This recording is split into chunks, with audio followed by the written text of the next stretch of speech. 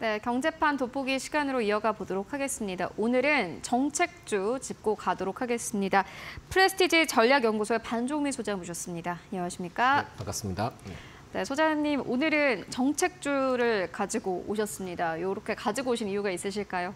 어, 사실 지금 정부 정책에 대해서 발표되는 그 로드맵 시기가 11월입니다. 근데 음. 미리 지금 어느 정도의 그, 그 윤 대통령께서도 지금 어느 정도 내용이 좀 나와, 나온 것도 있고 또한 지금 산자부에서도 예산이 좀 지금 편성이 된 부분들이 있기 음. 때문에 이게 이제 본격적으로 발표되는 시기가 12월이다 보니까 미리 이제 이러한 부분들 그리고 앞으로 내년에 어, 그 관련된 산업들에 대해서도 계속 좀 모멘텀이 남을 수, 있, 남을 수 있는 그 섹터가 어떤 건지를 좀 살펴보기 위해서 좀 가져왔다라는 말씀 드리겠습니다. 네, 그렇다면 어떤 이야기가 나왔는지가 꽤나 궁금한데 보니까는 약 이틀 전에 좀 발표가 나왔더라고요. 어떤 내용들 발표됐습니까? 네, 먼저 이제 그 지난 20, 그 9일입니다. 그 윤석열 대통령께서 그 바이오, 우주 등의 그 2조 5천억 원 가량의 그 프로젝트를 추진하겠다라고 좀 밝혔습니다. 근데 여기에서 중요한 포인트가 좀 몇 가지가 남아 있는데 글로벌 R&D 협력에 따른 1조 8천억 정도의 그 투자 계획을 좀 밝혔고요.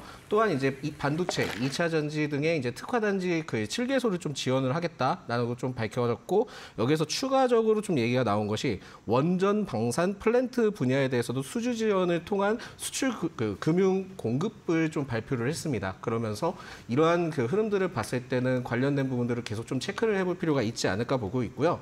사실상 이러한 부분들에 대해서도 내년을 위해 지금 먼저 계획을 발표한 것이기 때문에 개인 투자가 분들이나 그리고 또한 이제 기업을 운영하시는 분들은 좀 참고를 하시는 게 매우 좋겠다라는 말씀 먼저 드리겠습니다. 네, 그렇다면은 꽤 많은 섹터가 있지 않습니까? 그렇다면 어떤 쪽에 좀 저희가 포인트를 가지고 이 뉴스들을 해석을 해보면 좋을까요? 네, 첫 번째로는 지금 그 이번에 발표한 음. 자료를 통해서 좀 내용을 보자면은 일단 바이오 그리고 우주 경제 그리고 그 반도체 2차 전지 원전 방산 등은 계속 좀 주목을 하셔야 될 것 같고요.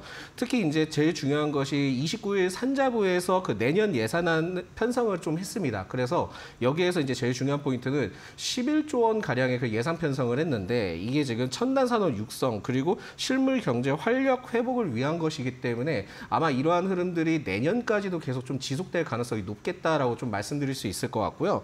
특히 이제 여기서 제일 중요한 것은 어, 올해보다도 그 100, 1,470억 원 규모의 그 증액을 좀 편성을 했기 때문에 그만큼 이번에 대해서도 예산 편성이 굉장히 좀 어, 확대됐다라고 좀 보시면 될 것 같습니다. 그래서 29일 어, 그 이슈에 대해서도 뭐 여러 가지 있기는 하지만 사실상 이러한 모멘텀을 좀 체크를 해봤을 때가 제일 중요한 것이 스케줄을 좀 체크를 해보셔야 될 것 같습니다. 그래서 예산안이 뭐 지금 해서 바로 받아들여지는 건 아니고요. 9월에 이제 국회 제출을 통해서 상임위 그리고 예결위 심의를 거치고 이제 본회의 본회의 그 의결을 좀 거치게 됩니다. 그러면서 12월 초에 좀 확정이 될 예정이기 때문에 지금 미리 이러한 부분들을 좀 체크를 하셨다가 뭐 주가는 뭐 바로 상승할 수는 없겠지만은 이러한 흐름들을 먼저 좀 알고 계셔야 될 것 같고요. 특히 지금 아까도 말씀드렸던 바이오 우주 그리고 반도체 2차 전지 원전 방산 등은 작년에도 좀 정책이 나왔었습니다. 그러면서 올해 상반기까지 계속 그 정책에 대한 모멘텀이 나와줬는데 이러한 흐름들이 내년에도 계속 좀 이어질 가능성이 매우 높겠다라고 생각하시면 매우 좋겠습니다. 그래서 이 점을 좀 참고를 하시면서 미리 좀 어느 정도 어 생각을 해보고 접근을 해보자라는 말씀을 드리겠습니다. 네, 그렇다면은 이제 또 자세하게 어떤 내용들이 있었는지가 꽤나 궁금한데 어쨌든 간에 예산안은 증액이 됐고요. 어떻게 좀 섹터별로는 어떻습니까? 아, 네, 여기에서부터 이제 좀 난이도가 높아지기 시작을 하는데요. 네, 네 먼저 이제 그, 그 올해 그 반도체 2차 전지와 관련된 그리고 디스플레이 등은 올해 1조 9천억에서 내년에는 이제 2조 1,600억 원으로 확대가 됩니다. 확대가 되는데 여기에서 포인트가 외국인 투자에 대해서 확대가 이루어질 가능성이 높고 배터리 산업 현장 인력 양성 등을 통해서 굉장히 다양한 내용들이 나왔습니다. 그렇기 때문에 여기에서는 반도체 2차 전지 디스플레이 쪽에서는 계속 좀 주목을 해봐야 될 거라는 말씀을 드리겠고요. 특히 지금 여기에서 그 화면에서 나오는 것처럼 6대 첨단 산업에 대해서 도전적 R&D 확대를 하겠다라고 밝혔기 때문에 이렇게 되면은 좀 여러 가지 포인트가 될 수 있는데 이 6대 산업에 대해서는 이따가도 말씀드리겠지만 먼저 시스템 반도체 그 기업 성장 환경 조성을 통해서도 작년 올해보다는 46%에 대한 예산 편성이 증액될 가능성이 높고 음. 또한 그 2차 전지 육성 거점 센터 구축 지원에 대해서도 300% 이상 증가를 했습니다. 증가 편성을 할 예정입니다. 그리고 국가 바이오 그 국가통합 바이오 빅데이터 구축에 대해서 신규 지원을 할 예정인데 사실상 2차 전지 육성 거점 센터 구축 지원에 대해서는 결국은 2차 전지 그 제조 공정 장비 관련된 기업들이 좀 포커스를 맞을 가능성이 매우 높고요. 바이오 빅데이터 구축이라는 것은 결국은 순수 바이오 쪽보다는 사실상은 그 디지털 바이오 쪽에 굉장히 좀 많이 포커스를 맞춘 것이 아닌가라는 좀 말씀을 드릴 수 있을 것 같습니다. 이외에도 지금 원전 분야 그 지원 강화 및 수출 촉진도 있었고 사실상 그 ISMR 그러니까 혁신형 소형 모듈 원자료에 대해서도 예산이 좀 충분히 반영될 것으로 좀 밝혔기 때문에 아마 이러한 흐름들을 봤을 때는 원전과 관련된 종목들은 내년에도 계속 좀 모멘텀이 있다 보니까 좀 어느 정도 길게 잡으시면서 접근하실 필요가 있지 않을까라고 보고 있고요. 특히 이제 리튬, 히토류 등의 이제 국가 핵심 광물에 대해서도 비축을 확대하겠다라고 밝혔기 때문에 사실상 지금 그 양극재 관련된 기업들이 뭐 대부분 이제 그 재료 비용이 좀 어느 정도 이제 떨어져서 참 문제가 됐었잖아요. 그 부분에 대해서도 일부는 이제는 하반기 때는 수혜를 좀 받을 수 있지 않을까라고 판단해서 이 점을 좀 참고를 하시고 그 부분에 대해서 지금 보유하고 있는 그 섹터별로 있는 종목들은 계속 좀 오랫동안 가져가 보시는 것도 괜찮을 것 같다라는 말씀을 드리겠습니다. 사실상 그러면 거의 대부분의 섹터이기 때문에 네. 약간의 좀 혼란이 생기는데 그러면 앞서서 말씀을 해주셨던 여섯 육대 첨단 산업이 있지 않습니까? 네. 그렇다면 그 안에서의 뭐 투자 전략이라든지 그런 거는 어떻게 보세요? 네, 사실 이게 제일 중요한 것이 그 기본적으로 좀 종목을 말씀드리면 좋겠는데 워낙 이번 예산 편성안에 대해서도 저도 어, 앞으로 좀 지켜봐야 되는 흐름들이다 보니까 세부적으로 좀 포커스를 잡기에는 아직까지는 좀 시기상조다라는 말씀을 드릴 수 있을 것 같고요. 추가적으로 제가 좀 말씀드리자면은 6대 첨단 산업은 사실상 반도체, 2차 전지, 디스플레이, 바이오 그리고 미래차 로봇 등이 있습니다. 그러다 보니까 이 분야는 계속적으로 그 흐름들이 좋아질 가능성이 매우 높겠다라는 말씀 드리겠고요. 특히 이제 반도체의 경우에는 업황 회복에 대한 기대감이 좀 여전히 남아 있고 남아 있는 상황이고 엔비디아의 영향을 통해서도 수혜를 받을 전망인데 어, 오늘 지금 그 엔비디아 쪽에서도 좀 얘기가 나온 게 있습니다. 그래서 어, 미국에서 미국 행정부에서도 그 중동의 수출을 좀 금지하겠다 맞아요. 이런 예. 이슈가 나왔지만은 사실상 내년까지는 엔비디아 쪽에서 도 지금 공급 물량을 다 받아놨기 때문에 이러한 점을 봤을 때는 그래도 아직까지 좀 유효하다라는 말씀을 좀 드릴 수 있을 것 같고요. 계속해서 이 반도체 쪽은 업황 회복 개선 그리고 정부에서도 여러 가지 지금 지원 정책을 내놓고 있기 때문에 어떻게 해서라도 반도체에 대해서는 끌어올리려고 많은 노력을 할 겁니다. 그러다 보니까 반도체는 계속 지속적으로 관심을 가져주셔야 될 것 같고요. 2차 전지는 여전히 성장성이 매우 남아 있습니다. 남아 있고 정부 핵심 광물을 통해서 비축할 수 있는 지원을 좀 마련하게 된다 하면은 굉장히 어, 좋은 흐름들을 가져갈 수 있기 때문에 2차 전지도 그렇게 크게 문제는 없을 것 같다라는 말씀 드리겠고요. 제일 중요한 것은 좀 원전입니다. 그러니까 원전은 지속적으로 좀 관심을 가져야 될 포인트가 수출을 촉진하기 위한, 위한 것도 있기는 하지만 그 중소 및 중견 기업에 대해서도 시설 투자 그리고 원전 해체와 관련된 그 기술 개발에 역시 예산에 편성이 되어 있습니다. 그러다 보니까는 원전주에 대해서도 뭐 대장주가 아까도 뭐 같이 얘기는 드렸지만 두산 에너빌리티도 있기는 하지만은 결국은 원전 해체 기술과 관련된 기업들도 같이 좀 살펴보셔야 될 것 같다라는 말씀 드리겠고요.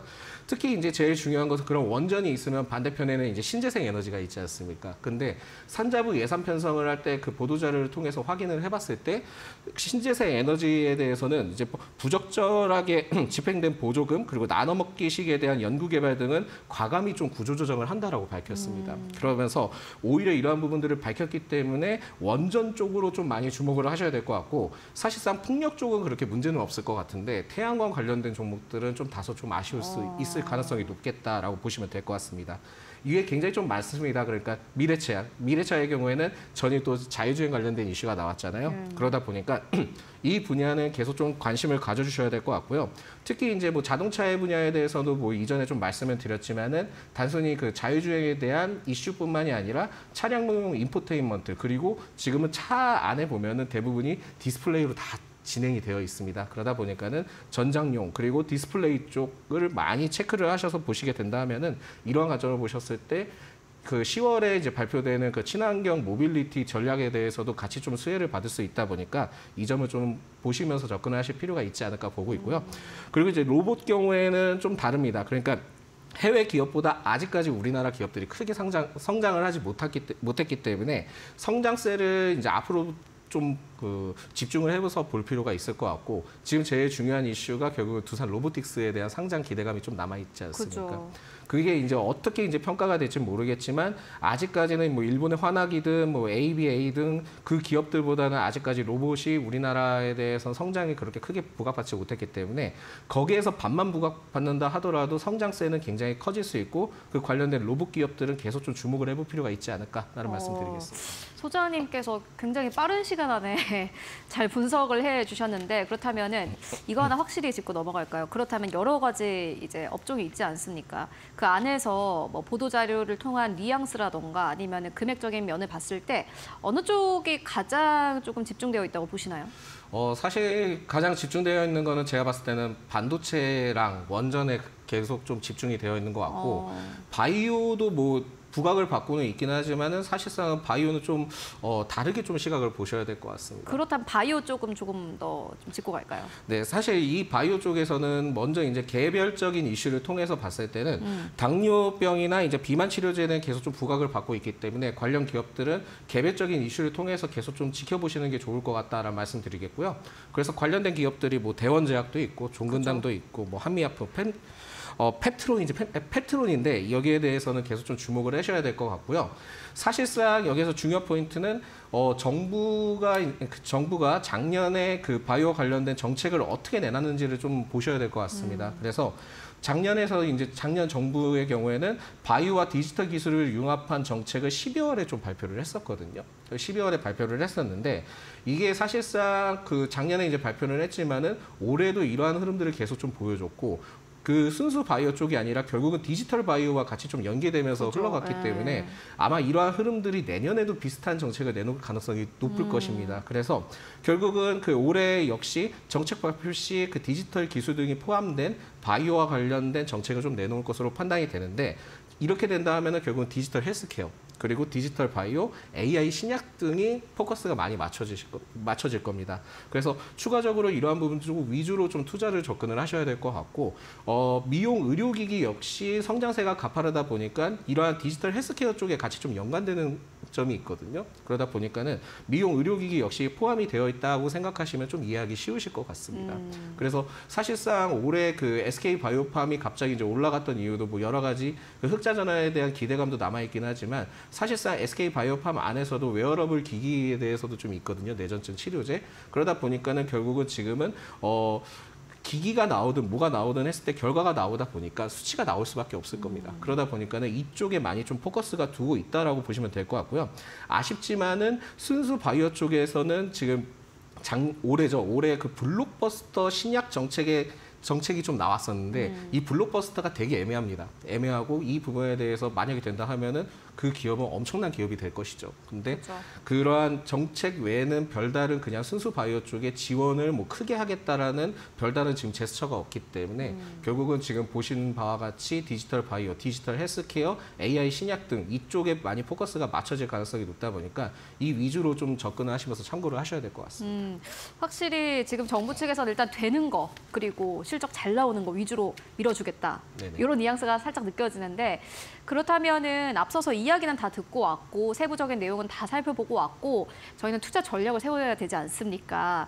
그렇다면은 앞서서 말씀해 주셨던 뭐 반도체라든지 원전 쪽 같은 경우에는 어떻게 투자를 해서 어느 정도까지 보고 또 어느 정도의 수익까지 봐야 되는지 그 부분도 굉장히 궁금하거든요. 어떻게 보세요? 어, 사실상 이게 제일 어려운 얘기인데 그죠. 예, 그렇게 되면은 예 저도 뭐 굉장히 좀 좋겠다라는 말씀드리겠고요. 사실상 그 정부 정책 발표 시기가 대략 한 11월 이후다, 이후다 보니까 이 점을 계속 좀 보셔야 될 것 같습니다. 그래서 언론이든 그 부분에 대해서 계속 좀 확인을 하셔야 될 것 같은데 제일 중요한 것은 굉장히 빠르게 전달하는 방송 방송 내용이 제일 중요하겠죠. 그래서 방송을 자주 좀 시청을 해주셨으면 좋겠다라는 말씀을 먼저 드리겠고요. 네. 2차 전지와 반도체 그러니까 6대 산업에 대해서는 그 6대 산업과 그 원전, 우주 등을 확인 확인을 좀 먼저 하셔야 될 것 같습니다. 그래서 섹터별로 먼저 미리 파악해 볼 필요가 있는데 결국은 11월 이후니까는 결, 10월 정도는 미리 이제 이러한 흐름들을 체크를 하실 필요가 있지 않을까라고 좀 보고 있고요. 특히 이제 어, 이러한 상황들을 봤을 때는 10월 정도의 대부분의 이제 주가 흐름들을 봤을 때 추세만 깨지지 않는다 하면은 그래도 접근을 해볼 필요가 있다라는 말씀을 드리겠고 좀 최근에 굉장히, 굉장히 좀 이야기가 많이 나오고 있는 게 그럼 게임주는 도대체 어떻게 되는 거냐라고 얘기를 많이 하더라고요. 많이 하시는데 게임 분야에 대해서 는 최근에 흐름이 좋지 않아, 않습니다. 근데 정책적인 영향이 분명히 있는 것으로 저는 판단이 되고 있는데 어, 돈이 안 들어오니까요, 그죠? 그렇죠. 그리고 사실상은 그 넥슨이라는 게임 회사 있지 않습니까? 그 게임 중에 데이브 더 다이버라고 해서 굉장히 좀 그래픽이 옛날 그래픽 스타일의 게임이 있거든요. 그러면서 이제 뭐 물고기도 잡고 그걸 통해서 이제 초밥을 만들고 하는 게임이 있기는 한데 그 게임이 오히려 그 세계적으로 좀 인기를 끌고 있답니다. 그러다 보니까 이전에는 이제 뭐 고사양 관련된 게임들 위주보다는 오히려 이쪽에 좀 많이 이제 집중을 집중이 되면서 굉장히 좀 특화된 케이스가 있다 보니까 이 점을 봤을 때는 결국은 뭐 게임 그래픽이 좋든 그게 그것이 아니라 게임의 플랫폼이 이제는 좀 중요해졌다라는 말씀을 드리겠고요.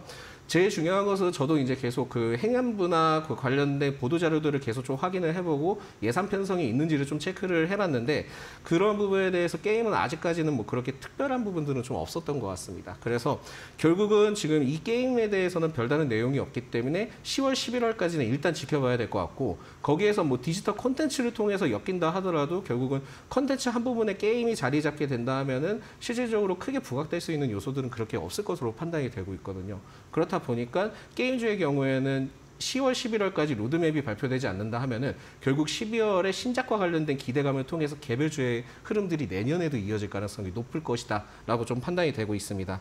어, 결국은 이제 좀 종합적으로 추가적으로 말씀드리자 한다면 11월 이후에 이러한 로드맵이 발표될 예정이고 산자부에서도 혹시 12월에 이런 부분들이 확정이 난다 하면은 대대적으로 이제 로드맵이 본격적으로 발표되기 때문에 10월 한 중순 정도 때 체크를 좀 집중적으로 원전이나 방산 또 우주 이런 쪽을 6대 산업에 대해서 계속 좀 체크를 해보실 필요가 있을 것 같고요.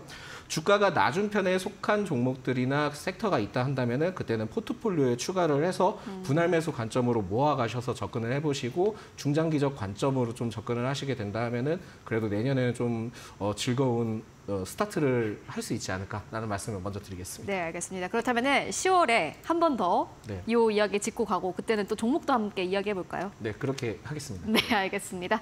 지금까지 프레스티지 전략연구소의 반정미 소장과 함께했습니다. 오늘도 고맙습니다. 네.